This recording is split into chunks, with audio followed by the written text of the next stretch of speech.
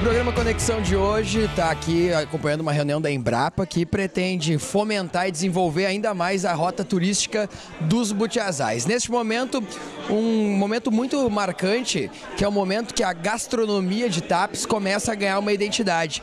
É servido aqui um café da manhã com o intuito de promover justamente eh, este elemento de Tapes aqui que são os Butiazais.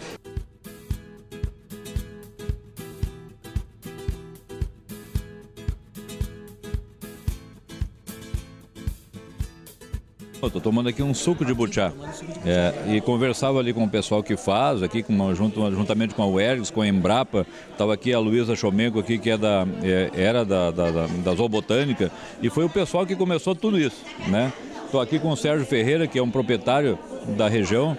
Então é um dos produtores que, que está com a porteira aberta, exatamente para aberto a novas ideias.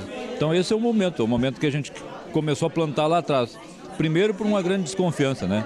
Que existia, ah, vai ter aqui um parque nacional, aqui vai ter uma reserva e tal, que foi lançado muito, muito pela responsabilidade, eu sempre digo isso e não canso de elogiar, foi uma iniciativa do Júlio Vandan, dos Verdes, que começou essa conversa e essa conversa é, suscitou nisso que está aqui acontecendo.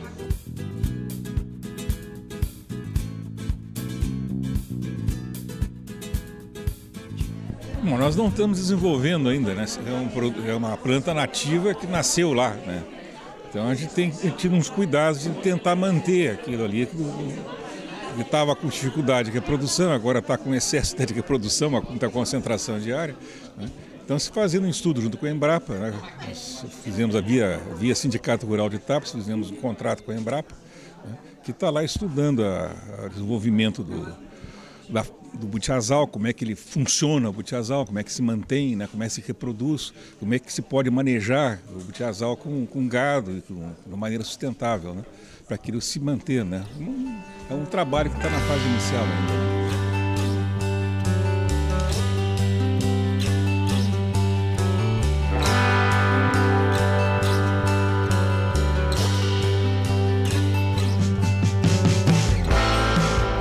Chimia de butiá? Geleia de butiá. A geleia não é a chimia, porque a chimia ela é mais cremosa, mais grossa. E a geleia, a gente, a gente, como a gente faz com a polpa dela, a gente exclui a fibra e a gente usa a polpa, a gente faz a geleia dela. Então a gente consegue fazer a geleia de butiá, não a chimia de butiá, por conta dessa, dessa fibra que sai toda, né? Então fica só. Uh, só, no caso, a calda do butiá a gente conseguir fazer a geleia. E esse aqui?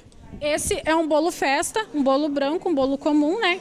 Onde também ele foi usado o creme de butiá como cobertura, né? Geralmente, quando a gente faz em casa, né? A calda do chocolate é aquela mesma ali, só que a gente usou o butiá, feito com creme de butiá.